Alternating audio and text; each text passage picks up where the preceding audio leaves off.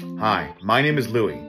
I'm a rapper, comedian, streamer, content creator, and I'm just a big, fat, fatty, fat.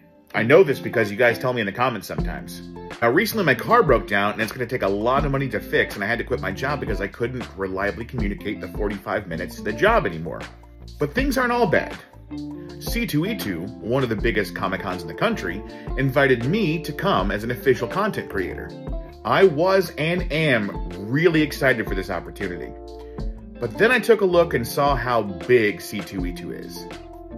It's really big. This is my first time going to a Comic Con for three days.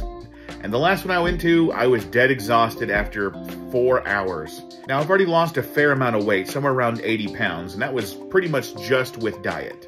But now that I have no job and no car, I have time.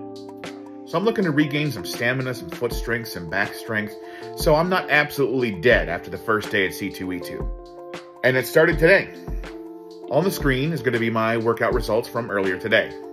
It's March 1st. By March 31st, I want to take off a few pounds, which I'm sure is going to happen naturally, and I want to get myself in better shape so I can make my way around C2E2. And if you'd like to join me on this journey over the next month, feel free. But if you'd like to physically join me at C2E2, let's get to work. We'll see you in Chicago.